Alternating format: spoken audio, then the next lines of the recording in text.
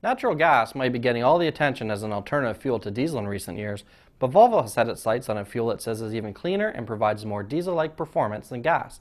Dimethyl ether, or DME, is a fuel that's manufactured from biomass and used as a propellant in products like aerosol sprays. Oberon Fuels has developed a way to create DME on a small scale at customer sites using a proprietary new manufacturing process. That development has prompted Volvo to announce it will commercialize a DME fueled truck for the North American market beginning in 2015. Volvo announced the new launch at a press event at the California State Capitol in Sacramento. I was there and caught up with Alternative Fuels marketing manager Ed Saxman to ask why Volvo is so excited about DME.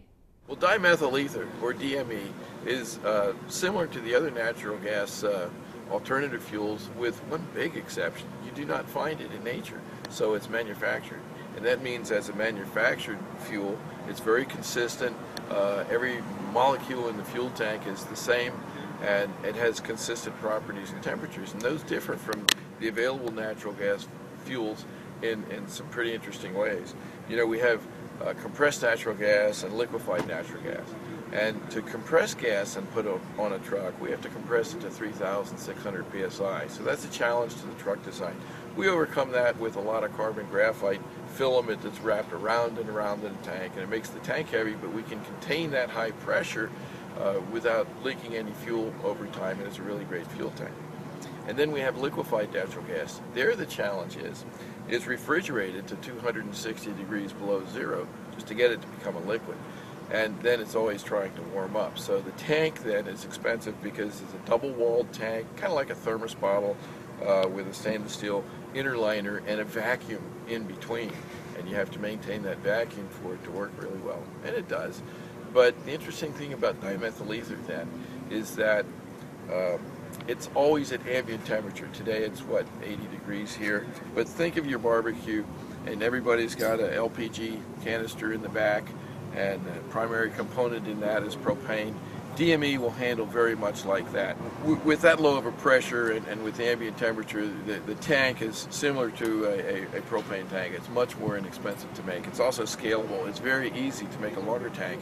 And that means we'll have the feasibility to put uh, the right size tank on, on the appropriate wheelbase without any longer wheelbases. We feel we'll be able to have 600 miles range on uh, the appropriate day cab wheelbase, which means that uh, that's what I feel uh, you need as a minimum range, and that exceeds what some alternative fuels uh, are today. So you have the advantage of more range with DME as well. One of the things Volvo loves about DME is the base engine doesn't require a drastic overhaul. The DME engine is, in some respects, simpler than today's diesel. DME, or dimethyl ether, uses the same basic engine that uh, a diesel process uses. It's going to have to have a different fuel system uh, because DME uh, is less dense uh, in terms of energy content per gallon. So it's going to take more liquid gallons to equal one DGE or one energy equivalent really of DME that has the same energy as, as diesel.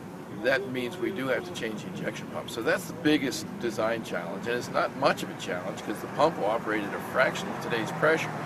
Today's diesel fuel uh, engines have extremely high fuel injection pressure in order to atomize that, that fuel molecule into smithereens to get it to burn without soot. DME burns without soot at all because there's no carbon-carbon bonds in the molecule. It just will not make soot. It burns with a blue flame, it burns clean, so it does not need a diesel particulate filter. Um, and the advantage of that then is that with, with less after treatment, we've absolutely no soot. The response on this engine is fantastic because there's no smoke limiter, and the turbo wheel can be spooled down. That, uh, when you stomp on it, it spools up very fast. Uh, you can use a small diameter wheel for that, and uh, so it's got some advantages over diesel and over some of the other alternative fuels. And you're right, it does require a little adaptation. I took Volvo's DME truck on an extended drive around Sacramento. It performed virtually identically to the diesel engines we're accustomed to. The fact Volvo says it can build DME trucks for roughly the same price as diesels is intriguing. It would allow fleets to wean themselves off diesel without the high upfront costs associated with natural gas. With that in mind, it's little wonder the company is excited about the potential for DME.